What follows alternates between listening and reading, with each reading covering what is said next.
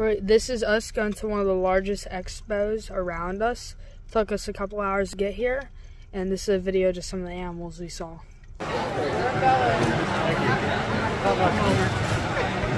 Showing you the belly. Alright, we'll pick one. You want to pick one?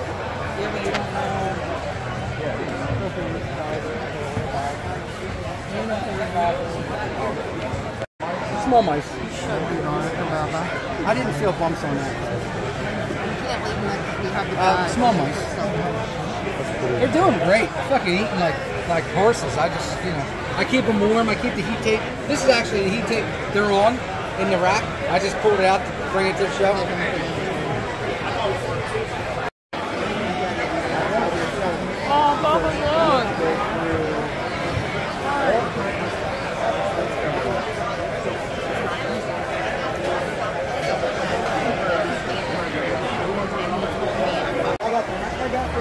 This station looks beautiful.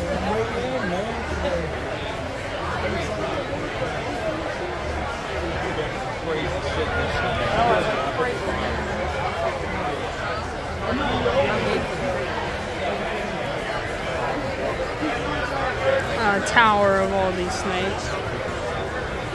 I don't know what that is right there, but it looks neat.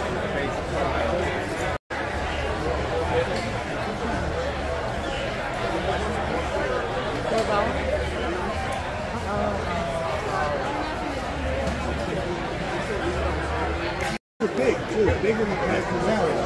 But um, right now they're still finding out. And they take two years to breed. I don't remember what what um what you showed.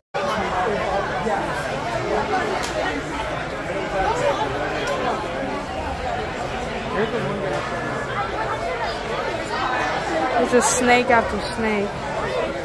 What do you think of buying that, Mom?